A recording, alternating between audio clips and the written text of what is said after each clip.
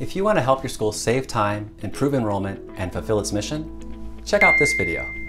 But if you want to learn three methods for adding photos to your school newsletter and teacher post, then keep watching.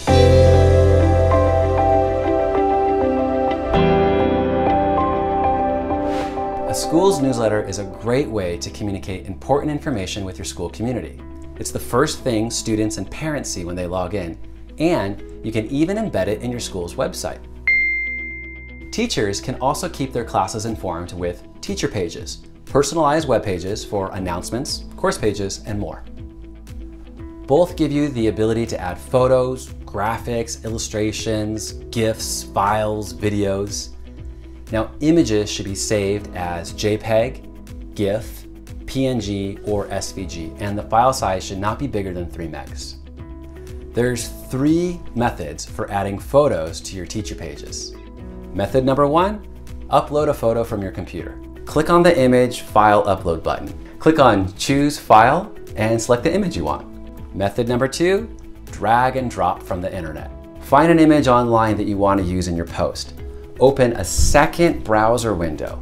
Log into Gradelink and open the school news or teacher pages. Click and drag the image from the first browser into your post in the second window. Method number three, copy and paste the image's URL.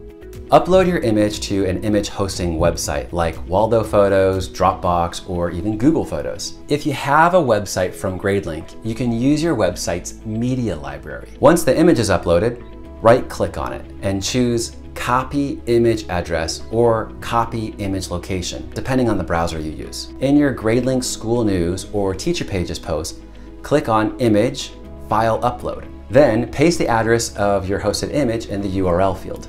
Making adjustments.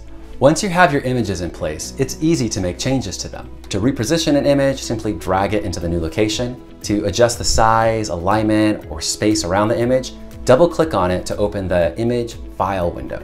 Here's a pro tip.